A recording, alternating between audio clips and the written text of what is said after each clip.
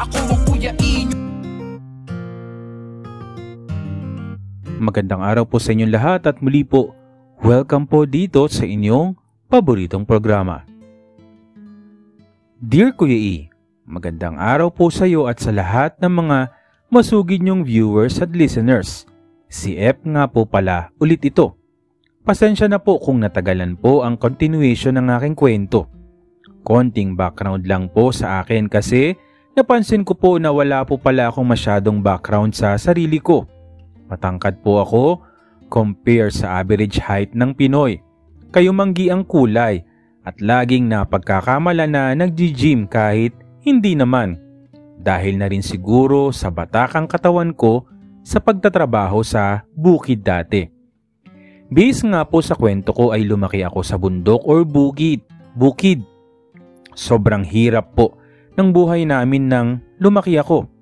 Buti na lang ay masipag magtanim ang lolo at lola ko kaya hindi kami nagutom kahit kapos na kami, kapos kami sa salapi. Lagi rin kami napuputulan ng kuryente at laging walang baon kapag pumapasok sa eskwela. Hindi na po ako pinag-aral ng kolehiyo ng mga magulang ko pero nagsikap po ako na pag-arali ng sarili ko sa kolehiyo at swerte naman po na natanggap ako sa isang sikat na fast food chain para pang tustos sa aking tuition fees.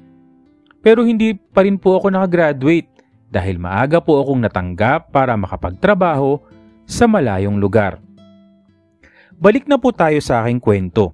Naging close nga po kami ulit ni Totoy matapos ang nangyari sa amin sa kakahuyan nung makabalik siya galing sa puder ng kanyang ina. Napansin po namin na nag-iba na ang kanyang ugali noon. Lagi na rin siyang tumatakas sa aking lolo at lola at bumabarkada na sa mga kabataan sa bayan. Dahil din po doon ay napabayaan niya ang kanyang pag-aaral nang muli siyang pumasok sa eskwela. Lagi na rin napapatawag ang lolo at lola ko sa eskwelahan dahil laging natutrobol si Totoy. Pero kami-kami lang, kapag kami lang ang magkasama ay mabait naman si Totoy at sumusunod naman siya sa akin. Napansin rin namin na behave naman siya kapag andoon sa amin si Chototi. Naghahanap lang talaga siya ng atensyon ng isang tatay or kuya kaya mabait siya sa amin ni Chototi. E kaso hindi naman siya tinuring na anak. Kahit ganun pa man po ang nangyayari kay Totoy ay regular pa rin naming nagagawa ang paglantak niya sa aking paps na parang naging normal na lang talaga sa aming dalawa. Nung mag fourth year high school na ako at nagsimula na siyang mag-teenager ay napansin ko na mas gumaling na si Totoy na lumantak dahil marunong na rin siya ng pagtaas baba sa paglantak at lalo ko pang na-enjoy yung ginagawa namin. Nung makatapos ako ng high school ay nagsimula na mag-teenager si Totoy at tumangkad na rin siya. Napansin din namin ang paglaki ng kanyang paps. Ang kanyang paps ay kakaiba dahil pantay ang kulay nito sa kanyang maputing kutis kumpara sa paps ko na madilim ang kulay. Tinuruan ko rin siya kung paano mag-jacks. Pero nahihirapan siya dahil sobrang sikip ng balat na sa ulo ng kanyang paps. Noong time na rin na yon ay nagpatuli na rin siya. Ako rin na nagturo sa kanya kung paano maglinis ng sugat ng kanyang paps. Doon ko lang nakita ng lubusan ng ulo ng kanyang paps na pinkish. Nang gumaling na ang pagkakatuli sa kanya at habang nilalantakan niya ang paps ko ay naisip ko rin na lantakan din ng kanya. Yun ang unang pagkakataon na nakalantak ako ng paps Kuya E. Siguro ay nasa apat na pulgada na rin ang paps ni Totoy nung panahon na yon. Wala naman akong nalalasahan na kahit na ano. Pero nang sumabog na siya, sa loob ng aking bibig ay may nalasahan akong malat-alat na likido. Hindi niya alam na sumabog na pala siya. Sabi lang sa akin ni Totoy ay masarap daw. Sabi ko sa kanya ay sumabog na yung gata na tulad ng sa akin. Tuwang-tuwa siya noon dahil masarap daw pala magpalantak ng pups. Simula noon hindi na lang siya ang lumalantak. Maging ako rin ay ginagawa ko na rin sa kanya. At minsan, nangungulit siya na gawin namin na maglantakan pero ako naman ay katatapos lang mag-jacks noon kaya wala akong gana. Sa sobrang kulit niya ay napaisip ako ng kondisyon na sagutin niya muna ang itatanong ko. Pumayag naman siya tinanong ko siya na sabihin na niya sa akin kung saan siya natuto na lumantak ng paps. Ayaw niya akong sagutin pero kinukulit talaga niya ako na maglantakan kami. Sinabi ko sa kanya na nakita ko siya dati na nilalantakan niya si Chototi. Nagulat siya at parang namutla pero alam niyang wala na siyang magagawa.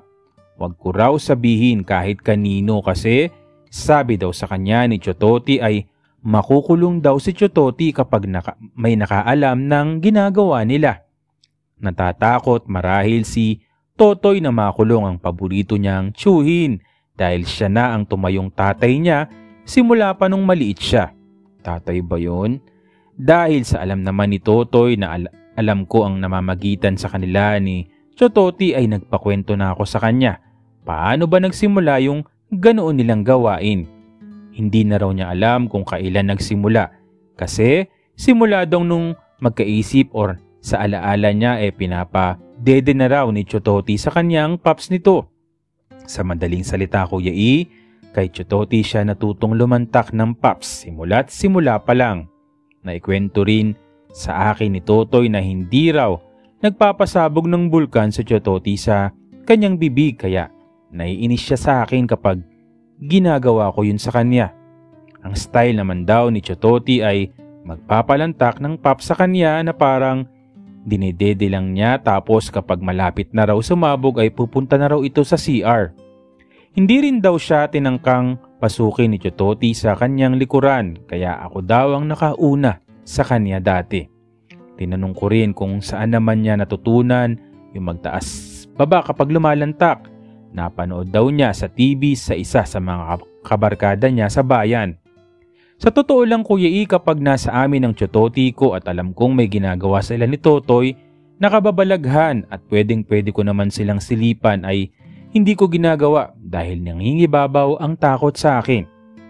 Maraming pagkakataon Naisipan ko sila na silipan sa ginagawa nila pero nanlalambot ang tuhod ko at hindi ako makalapit sa bahay nila. Si Chototi nga pala ay hindi natuloy na magpari dahil nakipagtanan ito ng isa isa sa mga choir member sa simbahan. Isang taon lang akong natigil na mag-aral nung matapos ako ng high school, Kuya E. Nakapasok ako sa trabaho at nakapagkolehiyo. Dahil sa higpit ng schedule, dahil pumapasok ako sa trabaho sa umaga at nag-aaral naman sa gabi, ay bihira na kaming magkita ni Totoy noon. Hindi na rin umuwi ang Chototi namin doon sa bahay kaya wala na talagang gumabay kay Totoy. Lalo na naging pasaway si Totoy sa lolo at lola ko. Sa edad na 14 siya noon nang lumayas sa amin. Nabalitaan namin na pumunta pala siya sa kanyang ina. Pero sabi ng kanyang ina sa amin ay hindi na rin naman daw nagtagal sa kanila dahil sakit daw talaga ito ng ulo. Nabalitaan na lang namin na pumasok daw ng trabaho si Totoy sa isang factory sa Manila. Third year college na ako noon bago ako makapagtrabaho sa malayong lugar. 11 years ago, as of now, ay bumisita si Totoy sa amin. Malaking malaki na siya that time pero payatot. Nagkumustahan at nalaman kong may girlfriend na raw siya sa Maynila. Lumaki siyang magandang lalaki at lalo mo nang masasabing anak talaga siya ng ibang lahi. Bago siya bumalik sa Maynila ay nag-request siya sa akin na pasukin, pasukin ko raw ulit ang kanyang monay. Sino ba naman ako para tumanggi? Taray, napakasarap ng tagpong yon Kuya E dahil sa kakahuyan ulit namin ginawa.